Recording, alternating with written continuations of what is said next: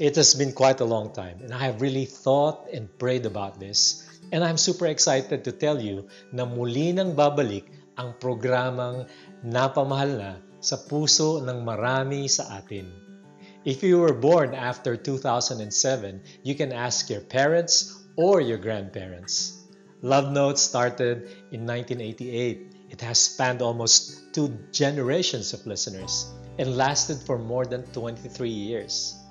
I'm excited because I'm finally back after a long absence from what I really love doing. Ako nga po pala si Joe Domingo and welcome to our new channel, Dear Joe. Join us as we talk about life, love, and relationships and everything in between.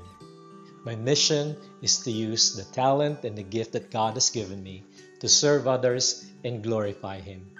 And it is my hope na ang programang ito ay makakatulong, makaka-inspire, makaka-encourage, and hopefully makapagbibigay ng pagkakataon for each and every one of us to live our lives to the fullest and live it with hope, with purpose, and with meaning.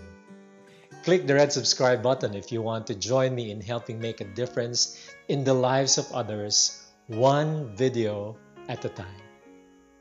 Sometimes, letting it out can make a big difference.